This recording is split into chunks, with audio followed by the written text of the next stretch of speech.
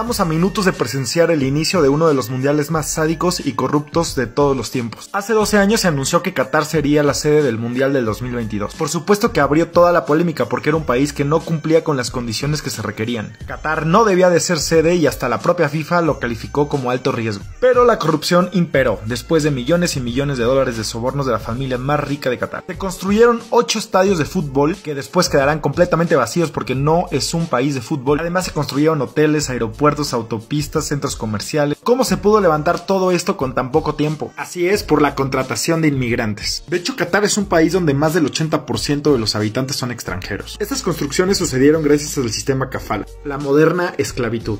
Esto permite que se explote a los inmigrantes, que vivan en condiciones inhumanas, que coman de lo peor, que se les retengan los pasaportes para que no puedan huir, viviendo con muy poco espacio los unos con los otros y trabajando más de 18 horas al día y con temperaturas que van desde los 30 hasta los 50 grados centígrados. Desde el 2010 murió un promedio de 12 obreros por semana. Una investigación de The Guardian hablaba de más de 6.500 obreros muertos. La Autoridad de Planificación y Estadísticas de Qatar publicó que entre el 2010 y el 2019 murieron más de 15.000 trabajadores extranjeros, aparentemente la mayoría de ataques al corazón. Ante todas estas miles de muertes, ¿qué ha dicho la FIFA? Pues para la FIFA solo han sido tres muertes, así es, solamente tres muertes reconocidas en la construcción de estadios. Estos son los nuevos 12 años de esclavitud.